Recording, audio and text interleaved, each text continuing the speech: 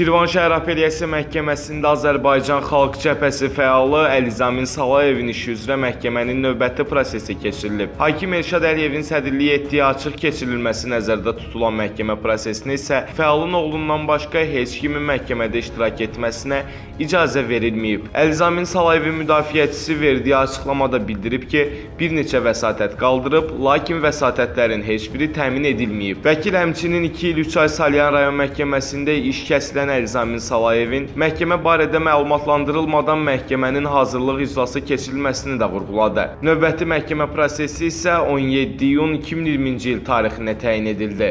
İlkin baxış iclasında vəsatət qaldırdım ki, hökm və hazırlıq iclasının qərarı ləğv olunmalıdır. Ona görə ki, birinci instansiya məhkəməsində hazırlıq iclası keçirərkən Əlzami Salayev müdafiə hüququ kobud şəkildə pozulmuşdur.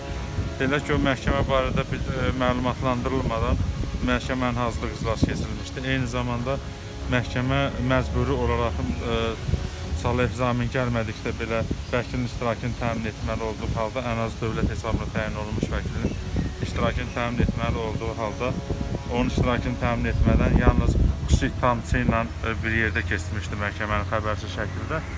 Ona görə də qanunvericinin tələbinə görə Cinayət Prosessual Məcəlləsinin 398-ci maddəsinin 8-ci hissəsinə görə ləğv olunmalıdır hökm və hazırlıq iclasının qərarı. Ancaq məhkəmə bizim bu əsaslı vəsatətimizi təmin eləmədi.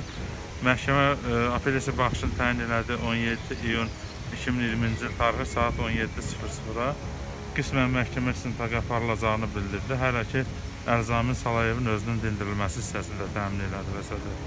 Əvvəl Allahdılar oldu ki, birinci məhkəmə üzrə açılış məhkəməsi, Səyar rayon məhkəməsində açılış məhkəmə üzrə karantin vaxtında 20-si günü götürürlər ona 2-3 ay həbs verirlər. Ona görə apellyasiya vermişik şahid. O da birinci gündə açış oldu.